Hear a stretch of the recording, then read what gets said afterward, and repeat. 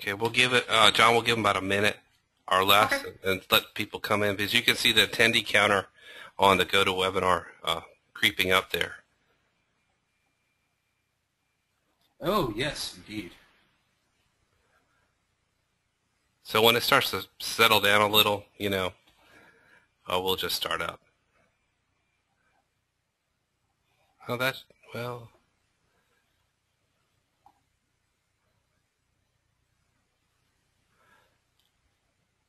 okay, I guess that's good.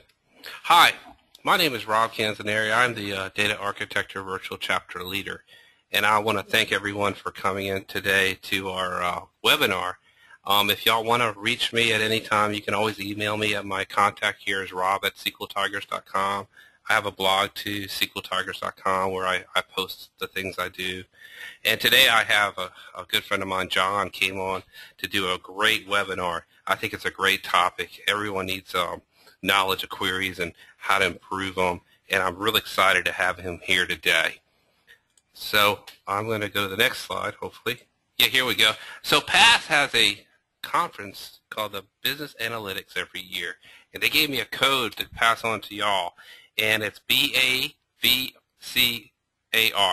and it saves you $150 off of registration. So if you have an opportunity to go to this great conference, you want to save some money, use that code, and uh, I mean, that's great. I- I'd use it if, if I was going this year. I might go still, and I'll use the code. So there are a lot of virtual chapters out here, and here's a screenshot of some of them. Um, I- maybe, yeah, some of them. And you can see there's always something going on. So if you want to, you know, you're interested in big data or, or high availability or uh, in-memory databases, log in into PASS, sign up, and they're, they always have great webinars like the one we're having today. So um, it's a way to get free knowledge, exchange knowledge, learn a lot of stuff, and it's all there out there waiting for you. Um, here's some upcoming SQL Saturdays. Um, you can see like the, all over the country. You got Richmond, Silicon Valley, Boston, Madison, Huntington Beach, Ottawa, just international ones too. So um, if you happen to be able to attend them, I can't recommend it enough. They're great. You learn a lot. You see some people speak. A lot of great topics. So the other thing is PASS is always looking for volunteers. So if you want to get more involved, um, you can then visit this link, volunteer at sqlpass.org, and uh, they'll, uh, you know, and, and it has all sorts of opportunities. You know, you, you could even do a virtual chapter one day, or you know, there are a lot of things you can like get involved with. So visit the uh, link, and you'll see what's out there. And finally, um, here are some links to get, you know, stay involved. Of course, you know that PASS has a LinkedIn and a Facebook account and even a Twitter account. So um, there are the links, and the membership is free. Uh, so that's all I have to really say right now. I want to turn it over to John. John, thank you for doing this today. No, no problem. Thank you for having me. I'm glad to be here. So I'm going to switch over to your screen right now. Hopefully it'll come up perfect. There it is. Great. So um, a few things I, I forgot to mention that are really important. We're going to take questions at the end of the uh, webinar. So if we have some time, we're going to take the questions then. We're recording the webinar. It'll be on the uh, PASS Data Architecture chapter, or you can uh, go to my blog, and I will put links to it from my blog too. And uh, that's all uh, I can think of right now. So John, I'm going to turn it over to you. Thank you again. Oh, no problem. Thank you for letting me be here. Yeah, also, you can reach out to me many different ways, which you'll see here on this screen, whether you want to throw something at me at Twitter or send me an email at Gmail. If you don't get a chance to get through your questions, uh, go ahead and definitely free, feel free to reach out to me, and we'll, we'll get you in the right direction. So just a little bit about me. Um, I love SQL Server and the PASS community. Uh, you can see me in a lot of SQL Saturdays. I travel to go speak at user groups. I actually run the high availability disaster recovery virtual chapter in the Austin SQL Server group and love performance tuning and almost anything that's on the relational side of SQL Server. So one of the biggest problems with performance tuning is being able to know where to start. A lot of times when I'm working with people, and even when I started way back as a performance tuner, was trying to do a good root cause analysis to figure out which statement should we look at to tune in the first place.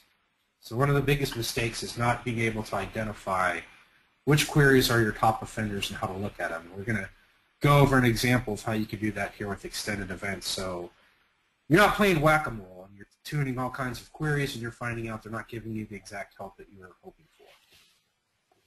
So here's today's agenda in a nutshell. We'll go over a little bit of use, using extended events for you to be able to find your top, of, uh, top offending queries. We'll go ahead then and show you exactly, well, how do you go ahead and baseline your queries? So as you are modifying them, whether you're using indexes or you're doing some code tuning or some other things, how can you know the difference between the executions between them? We'll look at execution plans in a little bit as we're going through and looking at T-SQL anti-patterns. And we'll also cover a, huge scenario I see repeated over and over again with indexing. Um, so we'll kind of go over a little bit the good, the bad, and the ugly between indexes. And then finally, where most of the time will be spent today is going over just a lot of what I would call anti-patterns for T-SQL.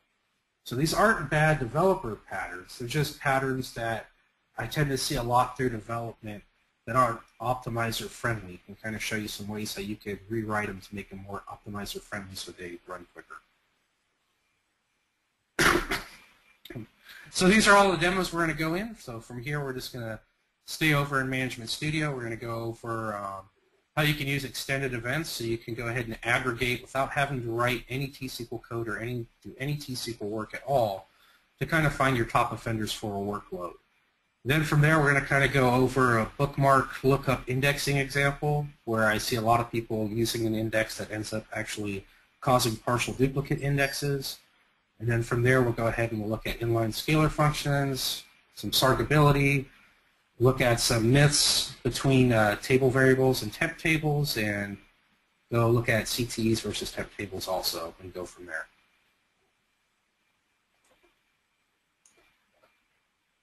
So with that, we're going to go over looking how can you identify your, your top offenders. So I'm going to show you two parts here. We're kind of going with the cooking style methodology here where I kind of got close to the end point, so I'll show you how you can create your extended event if you've never created one before.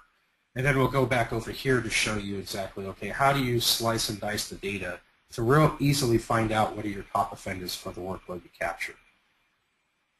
So real quickly, if you've never created an extended event before,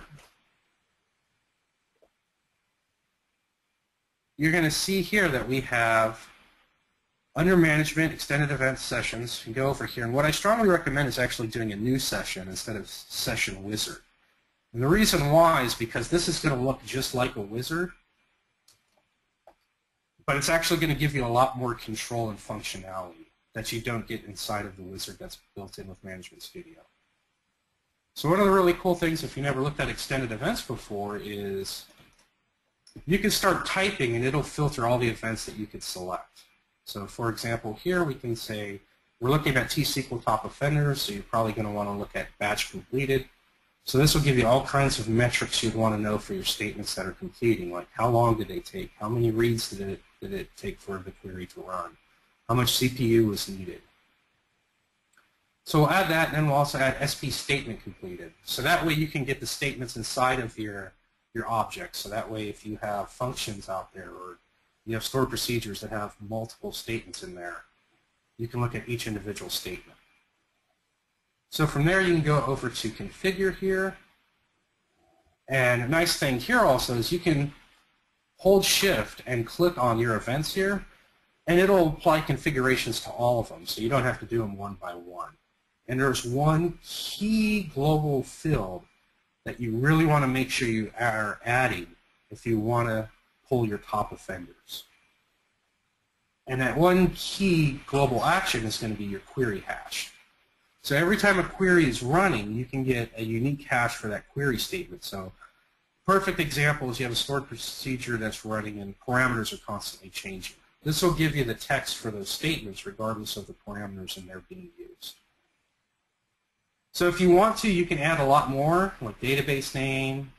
Uh, the one thing I would tell you is be careful here because the more actions you're going to add, the more resources are going to be consumed by your extended event session.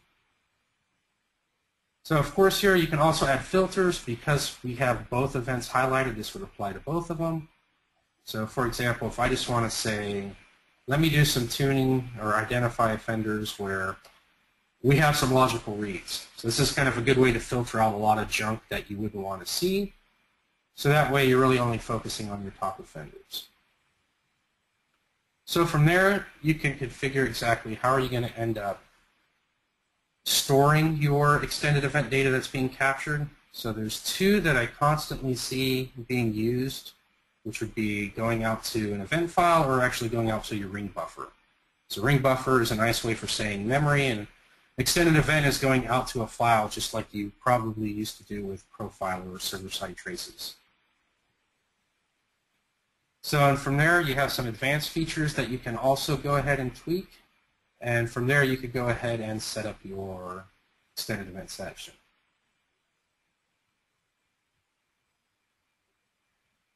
So here we have our new one here.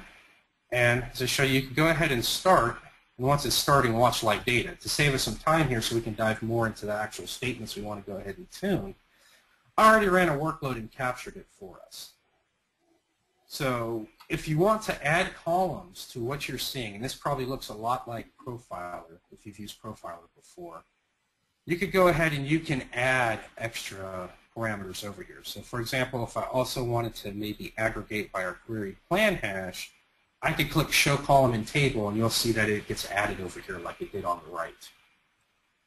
So one thing I did is I went and I stopped my data feed. So I have my whole workload that I want to quickly do some analysis against. There's two really cool functions inside of extended events that can let you slice and dice this data really quickly. Um, so one of the things in here is going to be our grouping.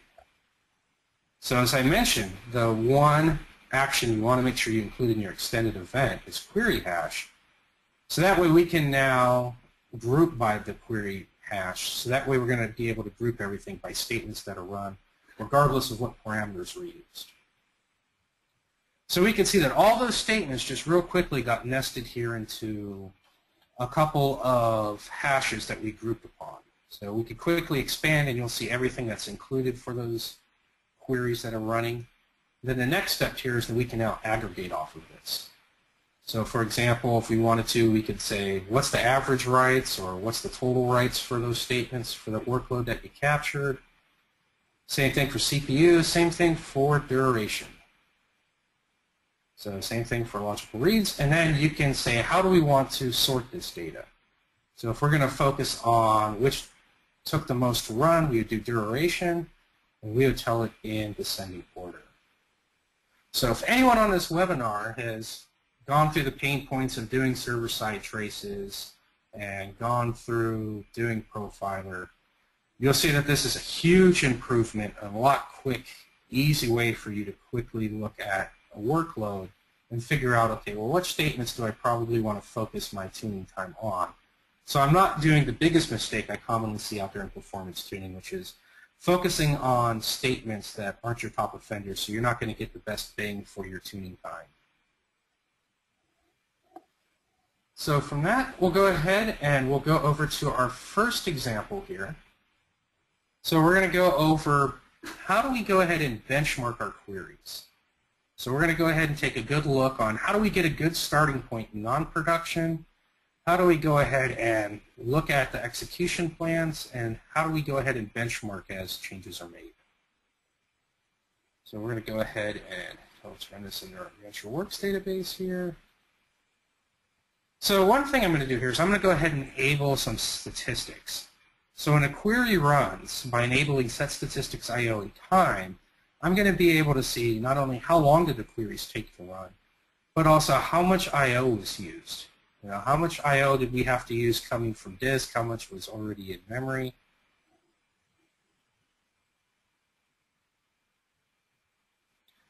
So now to get a starting point. So this is something I, I strongly recommend as you're tuning queries in a non-production environment. So when I identify in production, what I like to do when possible is to be able to take them into non-production. So that way I can start off with the worst case scenario, which is a cold starting point.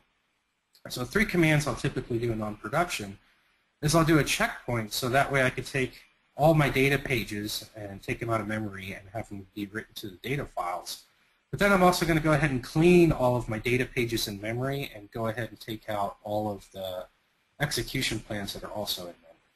So this way it's going to force us to start cold by building a new plan and also at the same time bringing data from disk so that way you have your same starting point that's always your worst case scenario. All right, so the very first query I'm going to run here is extremely trivial. So we're going to have two statements from the same table here. One is going to be a select star, and the other one is going to be only three columns from the same table.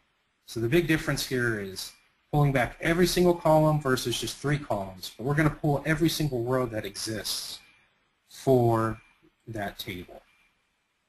So before we run this, another thing I want to show you is how you can look at execution plans inside of Management Studio.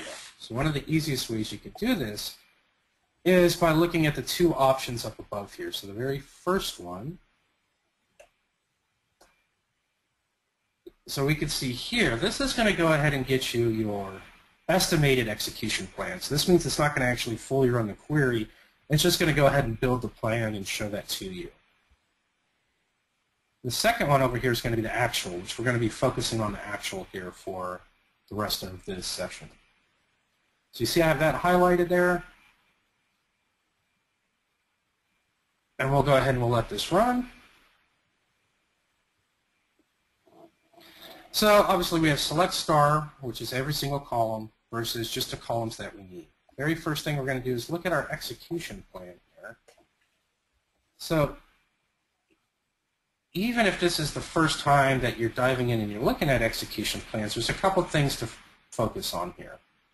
One is the cost of the query. So SQL Server is a cost-based optimizer, which will assign you a cost. And when you're running two queries that are exactly the same, or very similar, that you have one which is your original and one which may be a different change, typically you're going to see some differences in here that can help you get a good overview and look at the cost for the queries.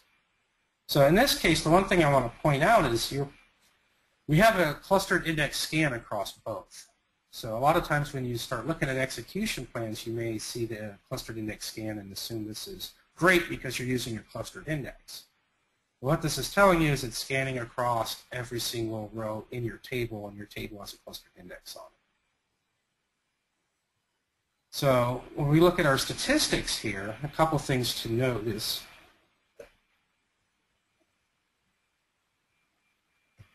So our logical reads, even though we have every single column in the first query and only three in the last query, the logical reads here are exactly the same. So we're not getting any benefit there because we're scanning across our clustered index. So that means it's going to go ahead and pull every single row that's there. The benefit that you are going to see is in the elapsed time because this is pulling only those columns that you need. But this is just giving you a good example of showing you set statistics IO, set statistics time, and a good example of how you want to go about benchmarking your queries as you're going and changing them and trying to figure out how to make them run quicker. All right, so from this point on, we're going to focus mainly on making queries run faster.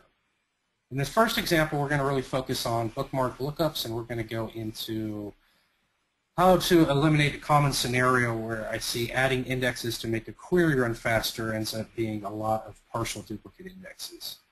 So in this very first example here, we're going to do first name and last name from our persons table to pull everyone that has a last name of Smith. So as you would expect, we don't have any indexes in here. We have our clustered index scan. And we even have what looks in here is an index recommendation. Um, so one thing to really note here is a lot of times I will see people out in the field, they'll take these and they'll just automatically add them. And why this looks good for that query at that point in time, this is where I could see this really hurt your query performance because you have tons and tons of indexes because you're always going in and adding indexes. So we're, we're not going to go ahead and take that recommendation. We're actually going to look at our query here and take a stab at this and see what do we need to make this run better. So the first thing that should jump out at you is that we're filtering on last name where the user is Smith. So it's going to be a really good idea for you, if you can, to look at your current ex existing indexes. And one way you can quickly do this, if you highlight your scheme in the table name here and hold Alt and do F1, this will go ahead and show you a lot of details about the table. So while this wouldn't show you every single thing about an index, this is a good starting point to let you know what kind of indexes do exist and what keys are used for the columns. There's a bunch of other scripts out there that can give you a lot more great detail, but this is even just a quick, great, good start for you. So we saw we didn't have an index for the last name in there. So the very first thing we're going to end up doing is we're going to go ahead and create an index. So I copied out how long it took to run. So if we go back to our, our messages over here when we run our query, you'll see that it's almost 4,000.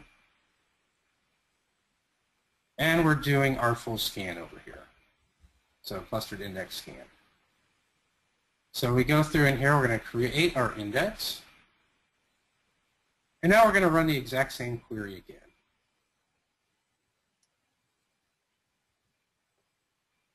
So if we look at I.O. alone here, you're going to think, wow, this is great. Because we just went from from almost 4,000 logical reads down to a little under 300. One thing I want to point out is if we look at the execution plan, there's a couple things that should jump out at you. So especially if we have any developers that are watching this, a nested loop here that we're seeing here, is what you probably know well as a for loop. Basically what we're doing is we're taking everything from the top, so all the rows in here, it's going to go through and it's going to do whatever's underneath it here. So there's two things that we should focus on from that index that we just added. So the first one, which is great here, sorry, I'm going to go ahead and control so that way we get our box there. So we have our index seek, So we're no longer doing that scan across the clustered index. So this is great. With that said, there, there's one opportunity that you could have for improvement over here. And that is the key lookup here.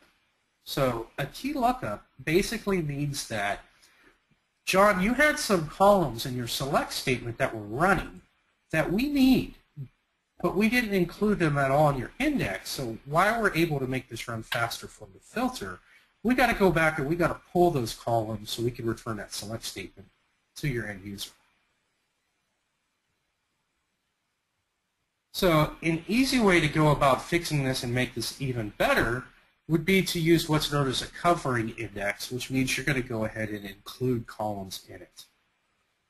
So the next thing we're going to do here is we're going to drop that index we just created. We're going to recreate it over here, except we're going to add include, which means first name will be added to the bottom of our B tree, so that way it can be tagged along in the index, so we don't have to do that key lookup. So we're going to go ahead and take that exact same query, run it again, So even if you're brand new to looking at execution plans, you can see here that we went from three operators down to one. So we have our index seek. We're seeking across the B tree and only pulling the data that we need. And we went from 300 logical reads to, to four here. So great stuff. This is probably the best you're going to get out of this query.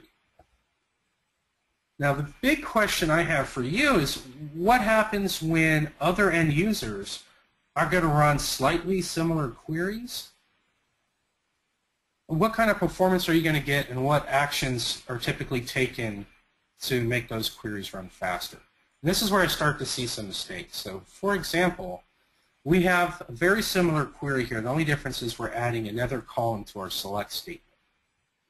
So when we run this, we're going to get what we previously saw, which is that index seek with a key lookup. And the reason why is because even though we had last name as included, we didn't include first name. So as expected, we jump back up to 300. So here's the mistakes that I tend to see out in the field. People will use tools like Data Tuning Advisor, or maybe they're just looking at dynamic management views for recommended indexes, and those don't really do a good job of looking and seeing what indexes do you currently have and how they maybe should be tweaked instead of creating what's known as partial duplicate indexes. So that way you have indexes that have to be maintained for all your insert, updates, and deletes that may not even be used for each So here we're going to go ahead and we're going to create that new index, just like I commonly see out in the field without even looking at what indexes we have. We're going to go ahead and rerun our query here. And we have our index seek again. Everything's looking great. Three logical reads. The thing to point out here is when we look at a query that I have for our partial duplicates, we are going to end up seeing that we now created what's known as a partial duplicate. So what this means is that second index we created, which has first name and last name as included columns, will actually be sufficient and work for that first query. So that one index can cover multiple queries instead of having different indexes that are only helpful for one query in general. So the big thing that I recommend here is taking a look at what indexes you have and go through and, and maybe look to see, can I tweak an index that exists to solve the bigger problem instead of adding a whole bunch of uh, duplicate or partial duplicate indexes. So to fix this here, all we're going to do is drop that first index that we created. And I'm just going to show you here, we're going back to that very first query, and because we have our second index, which included first name and middle name, that we're still seeking across it, and even in this case, our I.O. is still minimal. All right, so with that, we're going to go ahead and take a look now at sargability. So sargability is a, a, fancy term that you may have heard or read. That's basically telling you that, all right, you did a good job and you have an index, but the index itself can't be used for this query because there's something going on in the query that's causing us to have to do scans instead of looking at the index for its seek. So a perfect example, kind of staying with our previous example at looking at last name, first name, middle name from the persons table, is a case where we want to start our text filter with a wildcard. So this is actually, if you have a lot of queries like this, this is a scenario where you're probably going to want to maybe start looking into full text search. And the reason why is because if you think of a B tree and its structure, if it's starting with a wildcard, it's not going to know anywhere, it's not going to have an idea of, okay, where do I start so I can filter out part of this index? It's going to have to scan across all of it. So when I run this, when we look at our execution plan, you're going to see your index scan in here. So if we're able to change this to where we don't have that first wildcard, we're going to see now we can actually figure out, okay, where do we want to skip inside of our index and actually do a seek across it. So this is a perfect example where now we're going to start seeking off that index we just created. So I'm going to try to beat this through a hammer with so many different real basic small things that you may end up doing with your queries um, that will give you the same result as something that's very similar but be treated very different from the optimizer. Another good example is a scenario where you maybe want to filter by you know the first letter of the last name. So commonly out in the field, I'll see people apply a function like substring. They'll do it across their column they want to filter against, and they're going to tell you know, start with the first letter and give me just the first character. Then their actually parameter, what they want to search for, is static. So when we do this, we're going to see that scan across the whole table. So your other option here, which functionality is exactly the same thing, but will greatly help you with performance because it's going to actually be able to seek across the index would be to not have a function around your column and just say like and then start with that character that you need. So this is exactly the same thing as the top, just this is going to be more optimizer friendly, so it's going to be able to seek across that index we just created instead of scan across it. And that's exactly what we see here. So once again, for, for people that are pretty new to execution plans, just looking real basic high level at cost, 88 good. Oh, sorry, I have this backwards here. Let me erase that. 88 here, high. 12 better. So this is also going to show you here, as I mentioned, when we're doing our operation here, we're seeking where up top here, we're actually going through and we're scanning. So once again, exact same result set here. You're going to see here we got a little over 2,000 rows in each one of them. The only difference here is the bottom one is sargable, meaning it can seek across the index, and the first one cannot. So the next thing we're going to look at here is we're going to play with some dates a little bit. Uh, just to give you a little background on this first one, all we're really trying to do here is we're going to trim off the time. So that way we can really just search off the date for columns that are using date time or date time 2 instead of just date. So constantly I'll see manipulation here on the column where you're converting, you're casting, really just so you can get everything that's on July 27th here. So based on our previous example, obviously you're going to see this is non-sargable. It's going to take a few seconds to run.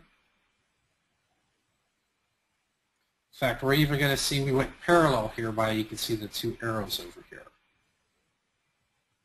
So how do we make this sargable? There's two options I tend to see. And this is going to be actual use case where you're not going to get the same results for both of them. So that's another thing you want to watch out for. So my method, which I would prefer, is to do less than equal to the date and then anything less than the date. And the reason why is because a lot of people use between here, and they'll think that this gets you the exact same result set, but it's actually going to include results that match this. So while both of these are sargable, and I'll go ahead and run them, we look at the row count here, you're going to see 2,600 over there in that bottom corner. And we look over here, we're going to see that we have more than that. And the main reason over here also is because you're including that last date. So even though I we're seeking, keep in mind that this may get you results that, that you're not expecting. So another example is what about what about those cases where we may want some data based on a year? So same scenario here. Going to wrap year around the column and say 2008. We're going to do the same thing over here, except we're just going to say less than or greater than the first day of the year and less than the, the first day of the next year. So that way we get all of our records in that year. So same result set, about 4,500. The big difference here, which you're going to see constantly throughout this, this example here, these snippets of code, is we're doing our index scan because this is non-sargable, which means we're going across the whole index, where here we're able to seek across it. So another good example to, to go over here, go ahead and skip this one due to time because this is pretty similar, is those examples where you probably have a parameter and you're looking for a case where I want to pull back records um, from a table where it's not null if it equals my value I'm passing in. If the data is null, then we want to just return it all, which is why you're going to see a couple examples. So the first one, coalesce, is basically saying give me the first one that's not null. So it's going to go ahead and look here and say, well, is, is this column in this row null? If it's not, it'll return it. If it is, it's going to return this value, which is just simulating a parameter that we're using. So the next one is a function that's using a T-SQL function called isNull. Kind of same thing. The only big difference here, if you wanted to, you can add a lot more parameters into this function here. So right out of the box, you're probably thinking, well, John, you've showed a couple of examples where I'm adding uh, functions around here. I'm adding some code functionality to where I have to do some manipulation to the column before I do my filters. You're probably expecting both of these to do an index scan. The key thing to note here is, is null actually is sargable? So the big thing I wanted to point out with this example to you is there are a couple T-SQL functions that are built in that will be sargable, and isnull is one of them. So a nice thing to look at, if we actually look at our plans here, and I'm going to go ahead and zoom in, I want you to see that we have our predicate here for the coalesce. So this is going to go ahead and show us that it's doing is not null, then we're going to search on that filter. So it's kind of rewriting your query in the back end for you, and this is what it's turning it into. If we look over here, we're going to see something different. Because this is a Microsoft T-SQL function, we're going to see that we're able to seek off of this. So a big thing to note, not every single function that you can use is non-sargable. There are a couple out there that will let you be sargable. The bottom one here is showing you kind of the same thing here where we're just replacing it with isNull or sales order ID. So that way we're going to filter only if that column has a row that is not null that doesn't equal the value that we have here on the right side. So the last example here, we're going to go ahead and we're going to take a look at difference between using Unicode and non-Unicode. So nvarchar versus varchar. So these are two different examples where I have a column that's over here it's going to be uh, Unicode, so nvarchar, and I'm basically doing a, a conversion here that's converting from varchar over, and we're going to have the opposite. And the one thing I just wanted to point out from this is that our second one is non-sargable, while the first one ends up being sargable. So just to let you know that you can go from varchar to nvarchar and still be sargable, but not the other way around.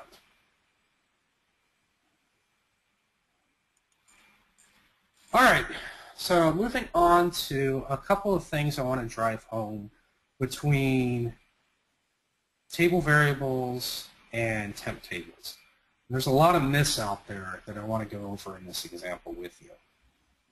So just as you've seen before, I'm going to go ahead and turn on my set statistics here. I'm going to go ahead and give me my clean starting point.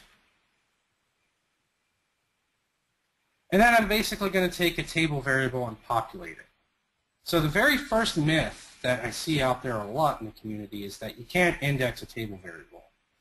And you actually can if you define a primary key and you tell it to be clustered. So that's one way to where you actually can have an index in a table variable.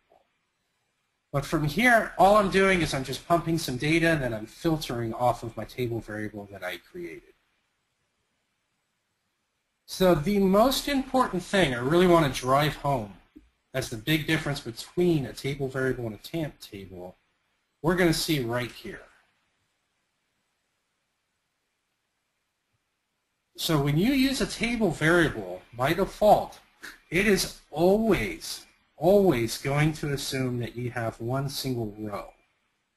So even though we're running this and we're looking at the actual execution plan, and in this example we have a thousand rows being pumped in, it's only going to assume one when it's building that execution plan. So because of this, you can get different operators that are included in your plan that can actually end up hindering the performance because it's assuming one row and you could technically have a lot of data that's in there. So there is an exception to this. So that's the next case here.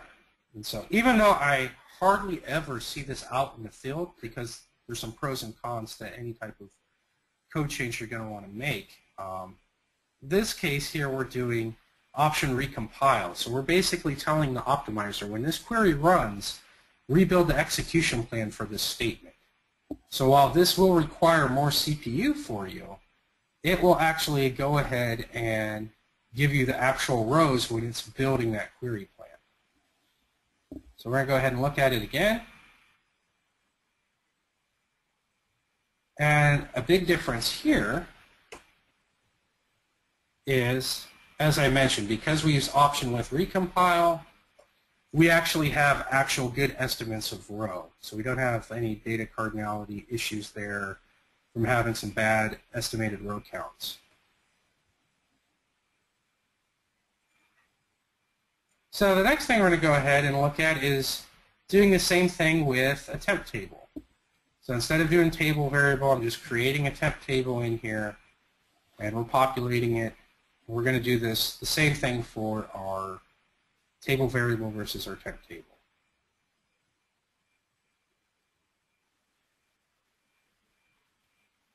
So a couple things I'm going to want to drive in on. So as expected before, we have our table variable here. And we're going to see that we're actually doing a merge join. And we have good statistics here, good amount number of estimated rows versus actual rows. Where over our table variable, we have a completely separate operator. So this is just driving home again here that if you're working with really small data sets that you know are going to be constantly small, table variable could be a good thing for you, but watch out and be careful because as data is growing and you end up having more data in your temp table or table variable, your the table variable is not going to give you accurate estimate of row count, which could drive different operators, which could end up hurting performance.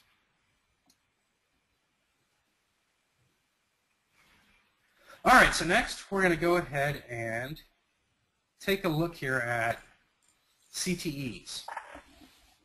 So a CTE by itself, especially when kept small, is not a, a bad thing at all. And a lot of times I'll see people screaming one way or another, you know, CTEs are good or CTEs are bad. So the first thing I, I want to really just show you is a really small CTE is not really different at all from the inline select statement. So this very first CTE here, we're just going to head and sum up the, the totals over here for each salesperson. And then the key driver I see a lot, not always, but a lot, is a lot of people are using CTEs to get an end result query that looks really nice. So here's an example where we're doing select star from our CTE, and this is just including it here as a inline SQL statement. These two are exactly the same thing. So when this runs, you're going to see same results.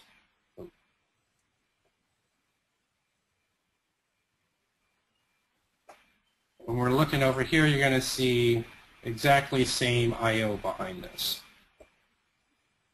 So we'll go ahead and add our actual execution plan in here. So this is where I tend to see CTEs start to go bad. Uh, it's when you are nesting them. So a lot of times I'll see that, that people use a CTE because they're really after something that looks real good as an end result of the query, but they're nesting CTEs to do a lot of work. I mean, a perfect example, too, of where this may come into play is just the architectural decision where you're, you're real heavy on using a lot of views. So I, I once worked in a scenario where a custom reporting framework was rolled out, but it was all dependent upon always using select from view and then adding filters to it.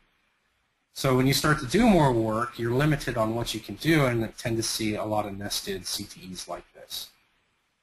So here's just a, a, a pretty simple example where you're going to see that we're looking for net sales, order quantity, sales quota, and we're doing this by using multiple CTEs. So when I say multiple CTEs, you see our first one here, but then you can see after that we're doing another CTE here.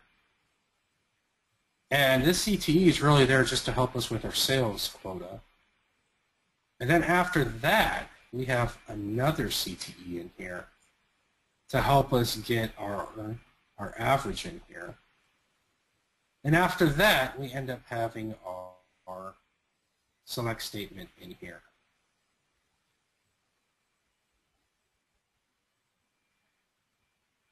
So we'll go ahead and run this.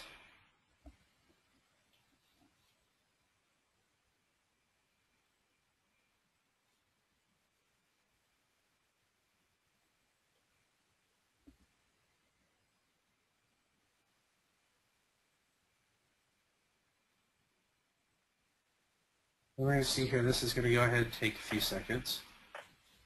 And then while that's running here, I have both examples here, but for time, we'll go ahead and we'll focus on, you see here, it took about 26 seconds for this to run. We'll come back to this, but I'm going to show you with temp table, The big difference here is we're able to split these up. So the optimizer is able to optimize each subset of that part of the, the CTE that was in there. So the real big difference here is we're creating our temp tables. We're going to populate each one with each little subset in there. And then instead of just having to select the columns from the last CTE, we're going to end up joining them across here towards those temp tables we created. So we can see we had a, a, real ugly execution plan in here. When I say ugly, it means there's a whole lot of operators that are going on in here. The key thing to, to drive home here is that this took 26 seconds for it to run. So if we go ahead and we take this,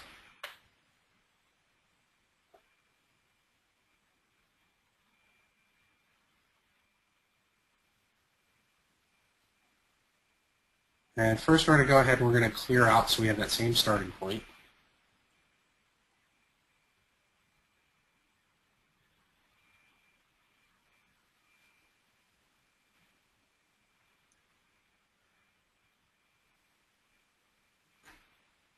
So we're going to see much quicker. Obviously, there's still rooms for improvement in here. But there's a couple nice things about this approach of breaking this nested CTE down into temp tables is the fact that one, you can see it clearly ran much faster, but two, you also have separate execution plans for each portion of it. So that way you can go ahead and optimize the part that needs the most work. So for example, here we can see that our cost was 100% of 100% here. So this is where you want to focus on your optimization efforts. All right? And then, so another one I want to look at here, which I, I apologize, I, I, skipped over this, so I want to definitely make sure that we go over this, is looking at user-defined functions. So a lot of times I see user-defined functions being executed mainly because similar to object-oriented programming, here's an object I can create in a database. I can reuse it so I don't have to rewrite queries at all. And I could just constantly just plug in this function and let it work. So here's a real simple user-defined scalar function that's going to go in here and it's going to get us our max order quantity for each product.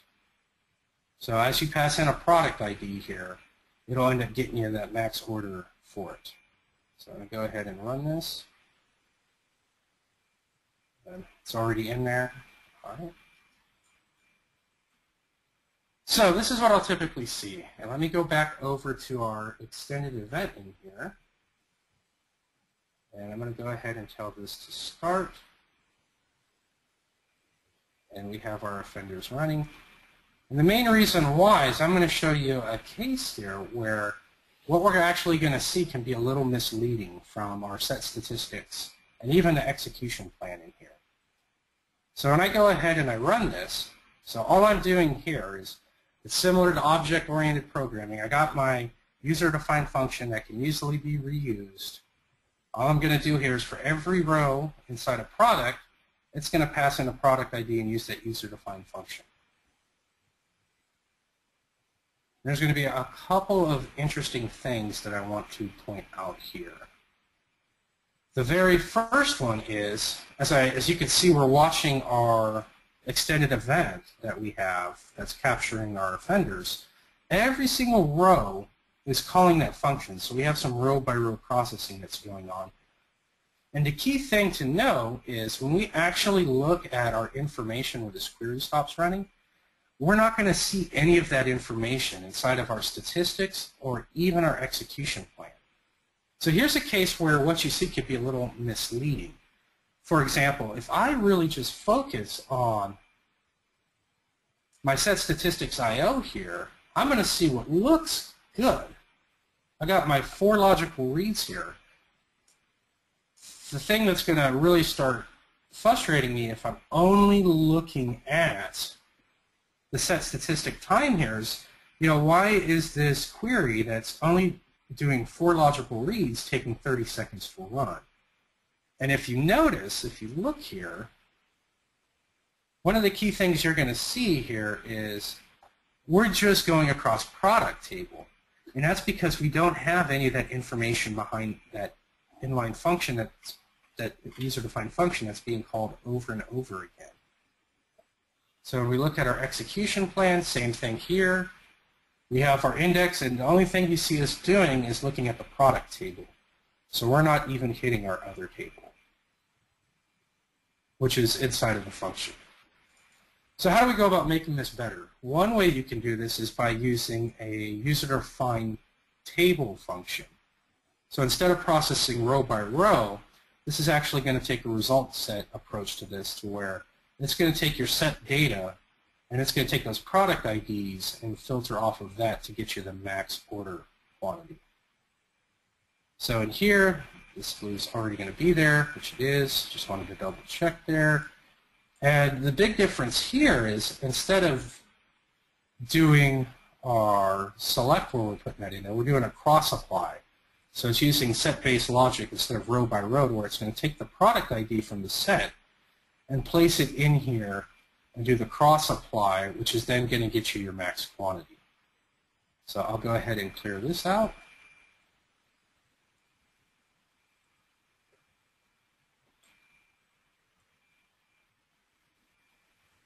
And we're going to go ahead and run this.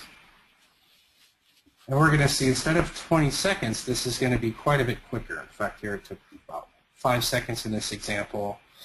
The nice thing here, first of all, is you see everything, so we can see exactly how much sales order detailed in large table here, how many logical reads were occurring there.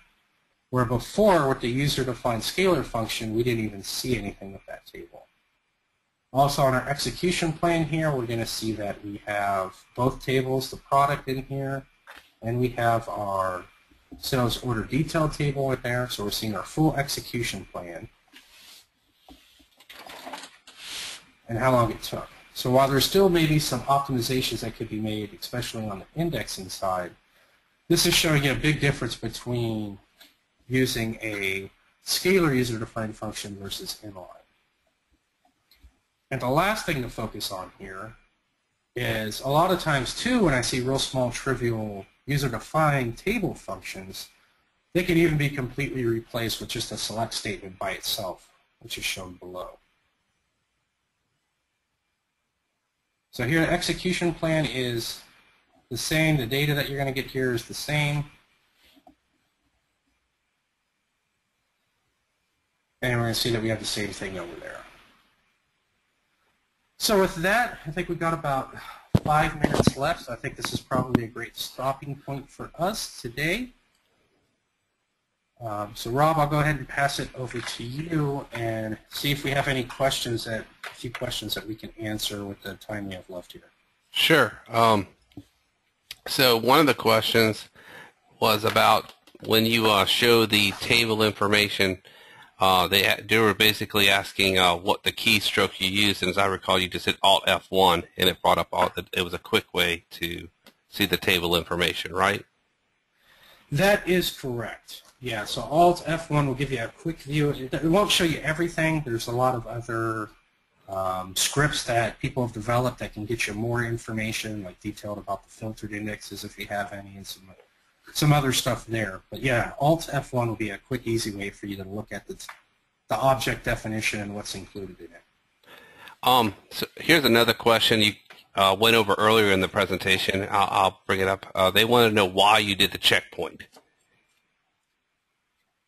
Gotcha. So the checkpoint was done. So whenever you're, you're changing data, it doesn't necessarily get written immediately to the actual data file. So a checkpoint is used to take data pages that haven't been sent down to the data file yet. So that way they're put in there. Okay. Um, this is just a uh, another question, just a general question. Uh, they want to know, will this session be uh, recorded? And, and, yes, it's recorded, and we're going to put it on um, the PASS data architecture chapter. Also on my blog, I'll put a link to it so we can all uh, view it, you know, after you know, later on or as much as we want to. Um, let's go on. Let's see. Um, a lot of questions coming in. Wow. Um, let's see. On the temp table variable, let me on the temp variable table, what are the drawbacks of doing recompile if you have a large table? The drawback, if you do with option recompile, is the fact that you have to recompile the plan. So every time that would run, it's not going to take plans that currently exist in memory that can help you. Okay. Well, let's see. Let's see. Here's another one. Oh, wow. Lots of... All right. How can I avoid spill in temp DB? That's a great question, and that's uh, a little more advanced and take more time to go over. So make sure that you email me or contact me. I put up the slide with my contact information so I can go over some more of that. If you go ahead and contact me at jsterrett at gmail. Okay. Um, are we covering exists versus counts? I don't believe you covered that. No, I, I cut that out due to due to timing. Okay. All right. I'll tell you what. What I'll do is I'll go over that and I'll throw it up on my blog. So if you see there, all of the code that we've gone through in the sample database that I have where I build out that extended table, you can get from the link that's provided up above. Um, so what I'll do is I will do that last example and I'll record a short video and I'll throw that up there on my blog. Do you have a few minutes? Do you want to do it? Uh, I mean, I have a. We can go a few minutes over if you'd like, or do you want to push that off till later? Um, no, we we can. Do we want to do that, and then we'll just, I guess, go through all the, the other questions. You can email them over to me, and all. Yeah, I can. Uh, we can forward the questions off to you um, after the presentation. If you okay. if you have a few minutes, uh, I do, so we can just go a little over. yeah, that right. one will. That's actually a good quick one here. So let me go back over. So one thing that I, I constantly see out in the field is a query similar to this, to where you basically want to do something. In this case, we're just printing, but we're doing a quick check just to see if we have data that's being returned by our query. So in this case here, we'll go ahead and we'll turn on our set statistics IO on. And all I'm doing here is just saying where a query order equals 1, I want to count and figure out okay, how many of those exist. And then my end goal, the real reason for doing this is to do some other work where I have sales. So the problem with this approach is it's actually going to have to fully run this first query. Helps if I go ahead and flip over here to my AdventureWorks database. So this is going to take quite a bit to run. And the main reason why is it's going across all of these pages. So it's actually going across and running that full query.